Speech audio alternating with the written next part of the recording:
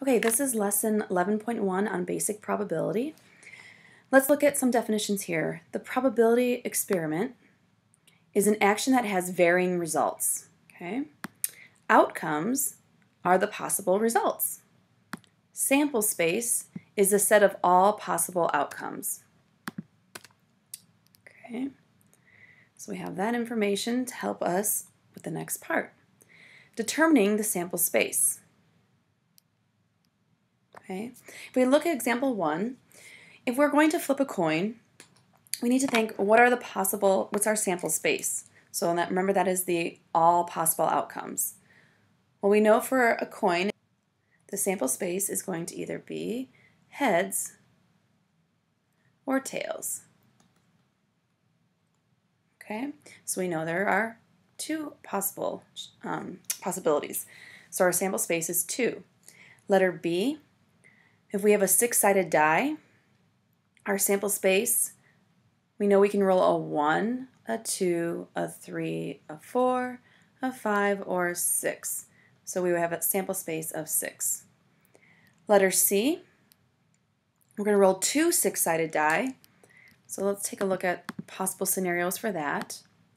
Okay, we know that we could roll 1 and 1, 1 and 2, 1 and 3, 1 and 4, 1 and 5, 1 and 6, and the same for 2, 2 and 1, 2 and 2, okay, um, and going all the way through. Remember you have two die, so you could have all these possibilities. Each die could be different. Okay, so we would say we'd have 36 as our sample space. Letter D, flipping a coin and rolling a six-sided die. So let's look at our scenarios. We could have a head heads in one, tails in one, heads in two, tails in two, and so forth. Okay, heads and tails with each number. So we know that our sample space in this case would be 12. Okay, so it's important to find your sample space before um, doing any probability. Let's look at the next page. Theoretical probability. And what is an event? It's an, any particular subset of a sample space. Okay. A simple event is a, a single outcome of an experiment. Compound event is an event that consists of two or more simple events. And the probability of an event is a measure of the likelihood that the event will occur. Probability is always a number between 0 and 1 that can be written as a fraction, decimal, or percent. Okay. The probability of an event, we have a formula. We would say the number of outcome, uh, outcomes in the event divided by the total number of outcomes in the sample space.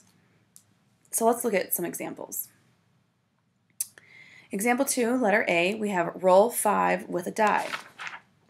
Okay. So I'm going to say the probability of 5.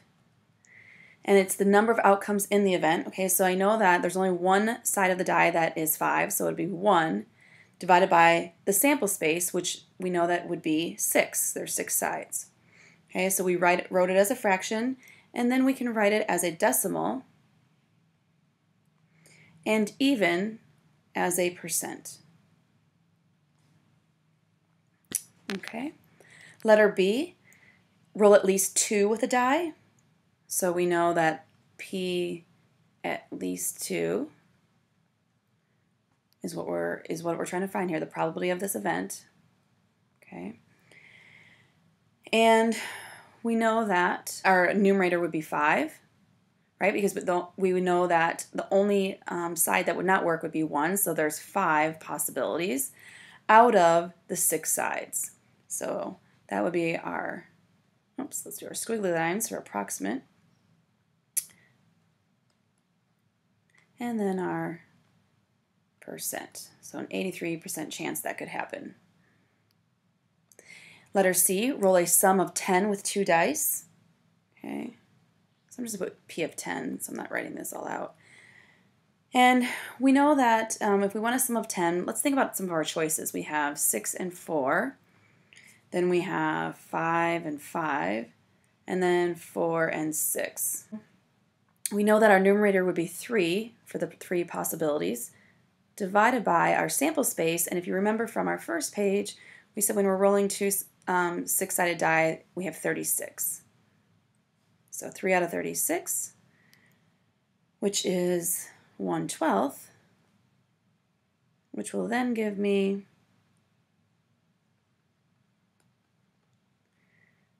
my decimal and my percent. Okay, and usually when we talk about things like uh, even with the weather, what's percent chance of rain, a lot of times we um, like it in percentage because it helps us relate it um, to how we think. Okay, let's look at the next page. Example 3. There are four true-false questions on the assessment.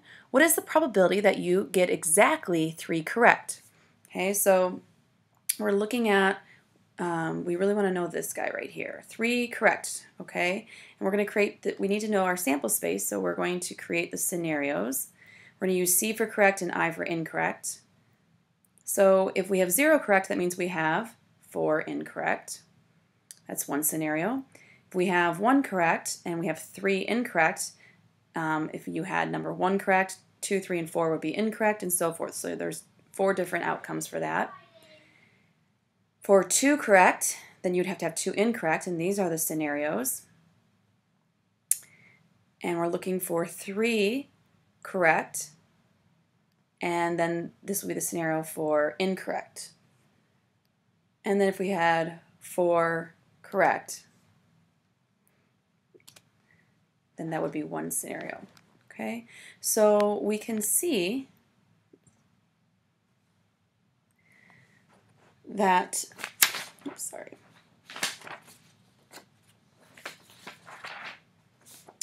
My total outcomes 1, 2, 3, 4, 5, 6, 7, 8, 9, 10, 11, 12, 13, 14, 15, 16. So that's my sample space. And my favorable outcomes, which is the three um, correct, which is what I was looking for, would be 4.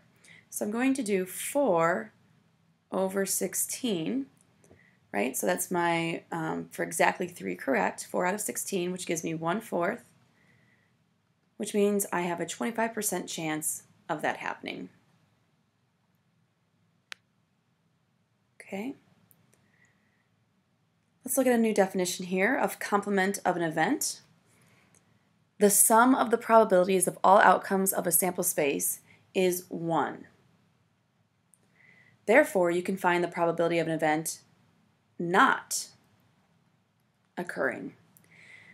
So here would be our formula. If we have the probability of an event not occurring, we would take 1 minus the probability of the event occurring. So example 4, use the scenario in example 3, just above, to answer the following. The probability that you do not get exactly 3 correct. All right, so we would just take, remember we said we um, have a 25% chance. So we could do 1 minus 1 fourth, which is 3 fourths, which gives us 75% chance. All right, one more page. Experimental probability.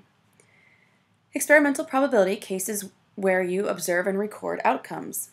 Repeated. Okay, repeated trials of a probability experiment. Trials are the number of times the probability experiment is performed. All right, we have a new formula for this.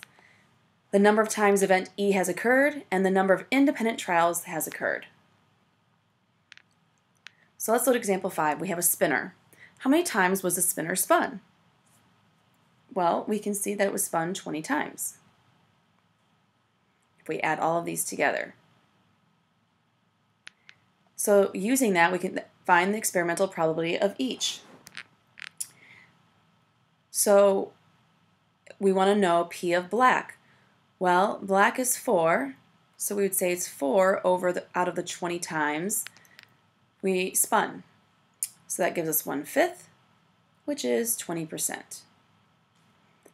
Letter B, the probability of dots, we can say is 8 out of 20, which is 2 fifths and 40%.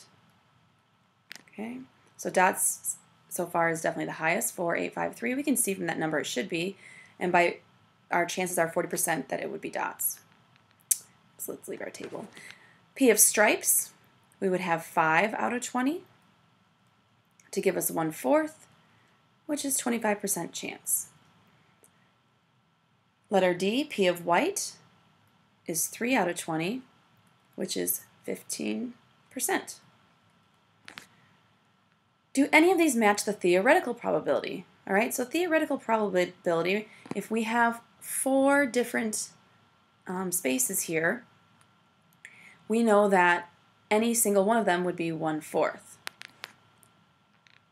So which one would match that? It would be the stripes. So we would say yes, the stripes match theoretical probability.